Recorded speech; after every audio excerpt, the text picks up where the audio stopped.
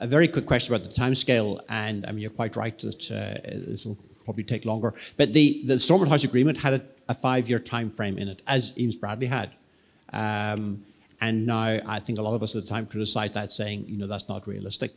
Um, but is it is it fair to criticise the present legislation having that time frame when others previously had had a similar ambition? Yeah, I, I, I take your point, but from, from recollection, the HIU looked to me like it was going to be something which was well staffed and, and well resourced.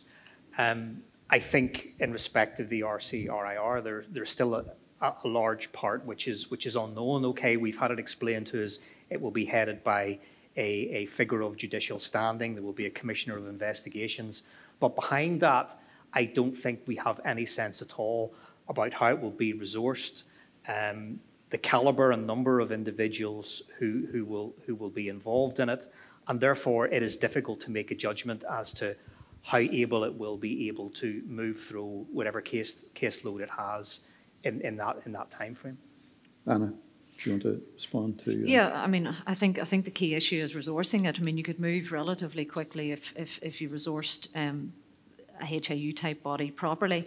I mean, I think, David, the, the, the, fear that I have is just this sense of, as Barney alluded to, about this get legacy done and the way in which this bill is moving quickly through Parliament, you know, without adequate. All of that gives a deep sense of unease, you know, about um, the, the time frame and rushing all of this through and closing the window down in five years so that if you haven't got, you know, requested your review by that stage, it's not possible.